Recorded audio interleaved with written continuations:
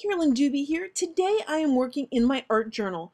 First thing I'm going to do though is build some elements to put on that art journal page. This is using a stencil called Words to Live By from over at Stencil Girl Products and I have a piece of canvas underneath it. Cheap, average, everyday canvas. What I did is I took some black spray paint from Liquitex. I did do this outside, so I'll just mock it up here for you. But you get the idea that, you know, you spray it outside because of the fumes and all that kind of stuff. But what it did for me is gave me this look. So lots of black, all those words ready for me to use. What I do with these words, I cut them apart. That way they could become whatever I need them to be on my art journal page.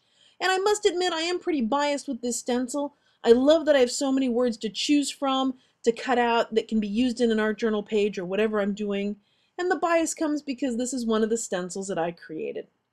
Well, now that I've got my stack of words, and I'm really not sure which ones I'm going to do, I'm going to show you this art journal page that was made using those leftover paints on my palette from another project. I just kind of smeared them around, and all of a sudden I realized, hey, I, I kind of like the way this is coming together, so I'm going to make it an art journal page. Now what I had to do is spread out my words and decide which ones were really calling to me, which ones felt like they fit or belonged on this page. And of course I needed more stenciling. This one is the picket fence stencil, also over at Stencil Girl, and I just wanted a little something over there. Well, now it's time to bring those words back on. The ones that I've picked here, and it still, it needs more color, so that blue balancing it out up there. But you know what? I still want more color. So I'm going to bring in just a marker and I'm going to color in the words to give it a touch of yellow because if I don't have a complete rainbow in something, I don't seem to be very happy. And now I've got my rainbow.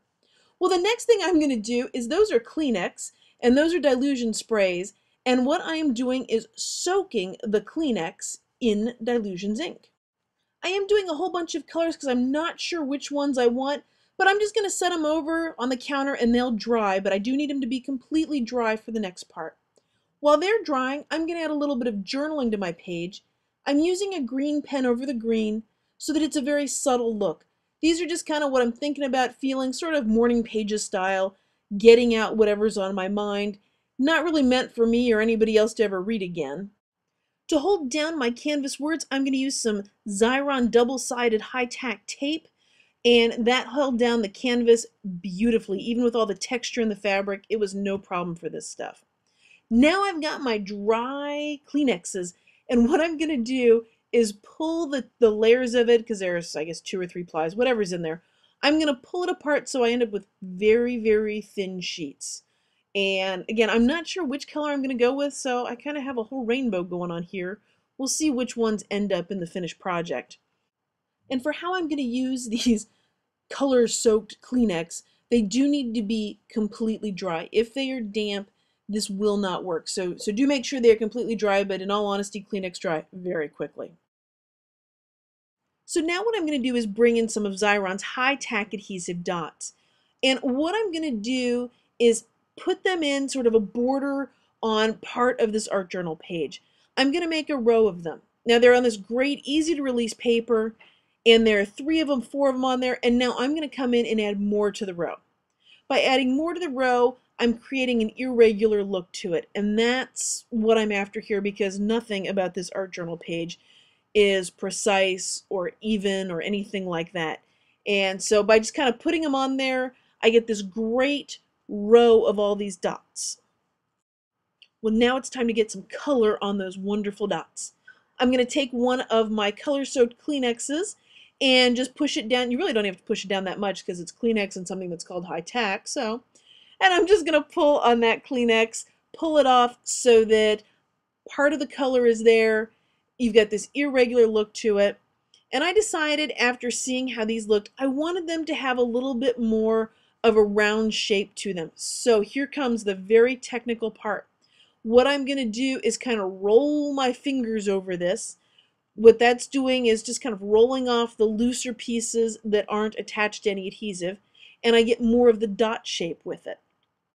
So I wanted a different look for down here than I had up above. And of course, had I already sprayed this color on the Kleenex? No. So I actually had to go do another one. And here I am pulling the Kleenex layers apart. It is still a little damp in the middle because I'm incredibly impatient and couldn't wait for this Kleenex to dry. So as I put it on my adhesive dots there, there is I'm putting it right where the wet part is, and yes, it tears beautifully, but I need to put the Kleenex where there's a dry part. Once I put a dry part on it, then it comes right up and will give me those rips and tears like what I wanted. I wanted a very sort of random, stringy, streaky feeling to this, and it is exactly what I got when I actually use a dry part of the Kleenex. So maybe I should learn to be more patient.